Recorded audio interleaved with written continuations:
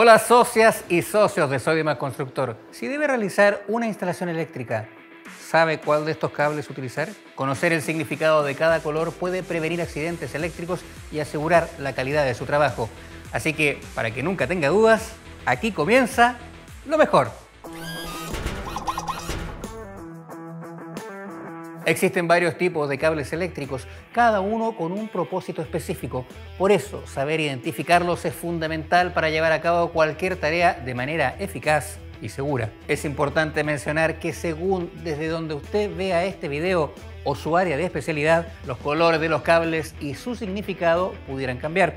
Lo mejor siempre es informarse con fuentes oficiales de su país. Por ejemplo, en Chile, la normativa que regula el uso de los colores en los cables eléctricos es la norma técnica de instalaciones eléctricas del Ministerio de Energía.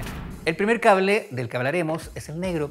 Este color se utiliza para identificar el cable de fase. Los cables de fase se utilizan para transportar la corriente eléctrica desde la fuente de alimentación hasta un dispositivo o sistema eléctrico, motores o sistema de iluminación.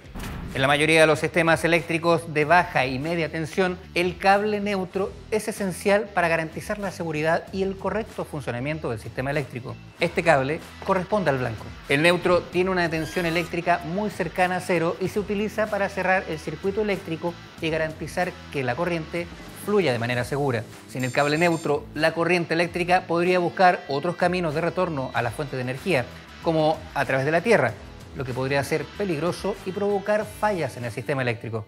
El cable verde o verde con una franja amarilla es el conductor de tierra o protección en la mayoría de los sistemas eléctricos. Su función principal es proporcionar un camino seguro para la corriente en caso de una falla eléctrica, evitando así que la electricidad fluya a través del cuerpo humano o de otros objetos conductores. En muchos casos, la conexión a tierra también ayuda a mejorar la calidad de la señal eléctrica en los sistemas de comunicaciones y a reducir el ruido eléctrico es posible notar que en algunas ocasiones es más grueso que los otros cables.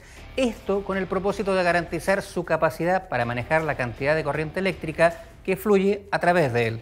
Nunca intente reparar o manipular instalaciones eléctricas si no tiene la formación o experiencia necesaria. Busque la ayuda de un electricista capacitado y certificado para cualquier trabajo eléctrico que requiera conocimientos especializados. Incluso si está capacitado, es importante recordar que trabajar con electricidad puede ser peligroso y se deben tomar precauciones adecuadas para evitar descargas eléctricas y otros riesgos asociados con la electricidad.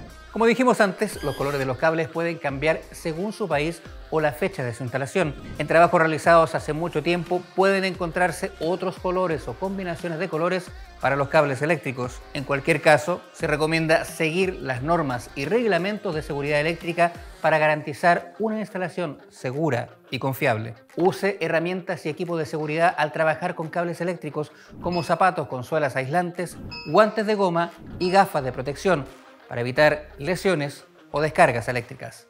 Como siempre, las mejores opciones para productos y soluciones las puede encontrar en todas nuestras tiendas Sodimac, en nuestra app y en sodimac.com. Si desea aprender más sobre cómo trabajan los expertos, suscríbanse a nuestro canal y active las notificaciones para no perderse ninguno de nuestros contenidos. Hasta la próxima, maestras y maestros.